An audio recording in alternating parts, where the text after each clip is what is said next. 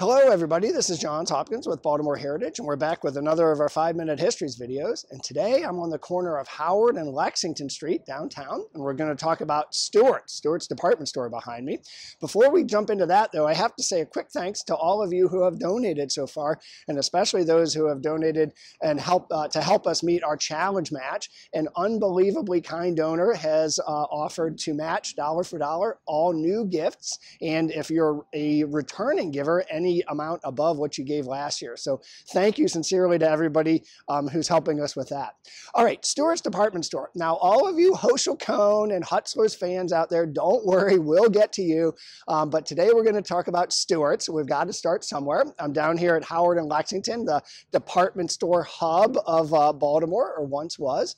Um, and, uh, and Stewart's building got it started in 1900, but before Stewart's was Stewart's, it was Posner's. And let's actually start there.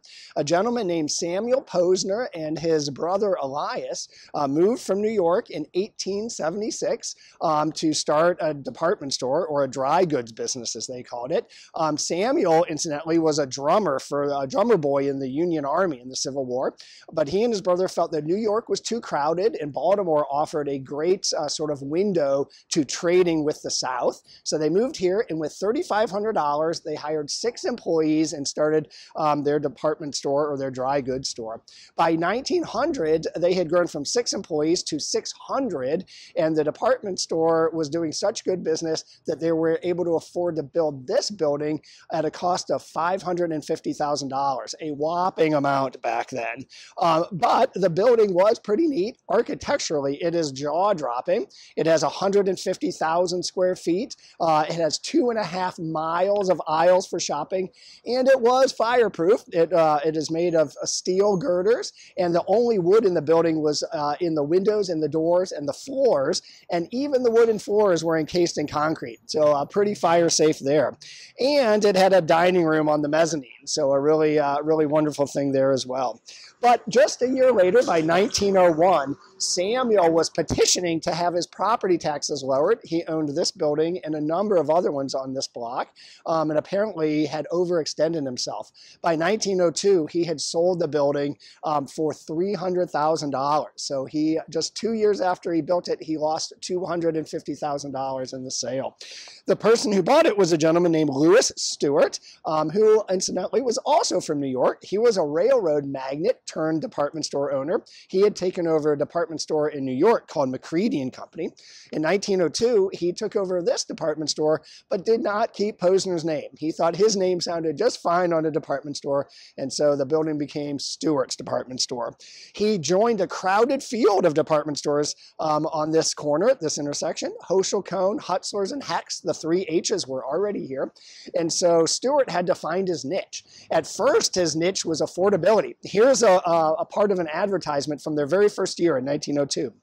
They, they claimed um, they had a unique, unparalleled sale of women's and children's outer garments for summer at phenomenally low prices. One of those was, quote, a fancy striped lawn shirt waist suits, a, a, an $1.98 value for $1.25. So how about that? Um, their first Christmas, they jumped right in. Um, they claimed that they had the brightest, most helpful, and safest Christmas store. I am not sure what was going on at Hutzler's or Hochschild Kohn that warranted uh, Stewart claiming he had the safest store, uh, but that's what he claimed. Um, and by 1920, Stewart's uh, was uh, full on part of the madness that was the Christmas and holiday season down here. They had an uh, employee choir. They uh, recreated historic Baltimore scenes in miniature in their front windows. And eventually they set up heat lamps on Howard Street so that the window gazers uh, could stay warm. They even claimed the heat lamps were so good that you could go inside, get a bathing suit, and go outside and try it on with, quote, barely a chattering of teeth. I'm not sure if anybody actually took them up on that, but that's what they said. Um, we could spend forever talking about Christmas and the holidays in these department stores, and maybe we should do a video on that, but we have to move on. In a, a serious way, uh, Stewart's was part of the transition in Baltimore and across America America from small specialty stores uh, to these purpose built large department stores. One thing Stewart's was a pioneer in is air conditioning. It was the first department store to get it. The year was 1931. One thing it was not a pioneer in, and that was desegregation. Um, it was like the other stores here, most of the other stores, um, at first, uh, black Baltimoreans could shop, not shop at all, and only after uh, prolonged struggles, fights, and effort uh, did it reluctantly open to all shoppers. We'll do a video just on that topic for sure.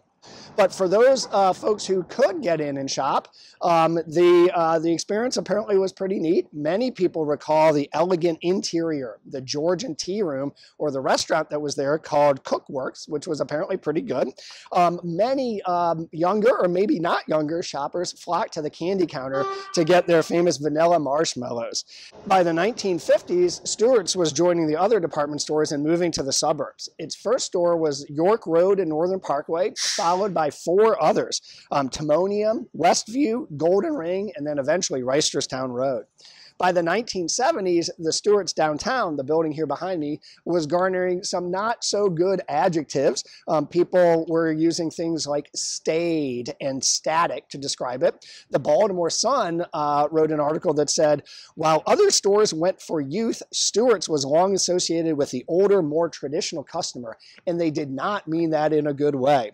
Um, in 1979, Stewart's followed Hochschild Kohn in closing its downtown store.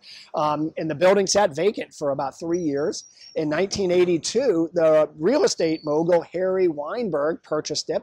For a while, he was uh, thinking of turning it into an art center, sort of like the Torpedo Factory in Alexandria, if you've ever been to that wonderful, wonderful place.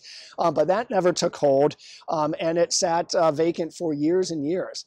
Today, however, it is not vacant. The first floor is still sits vacant, but the upper floors are occupied by Catholic Relief Services, the international aid organization organization of the Catholic Church. So I'm going to wrap up by uh, uh, asking anybody who has a fond memory of Stewart's or, or maybe a not fond memory, um, send it in. We'd love to hear from you. Thanks so much, and we'll see you next time.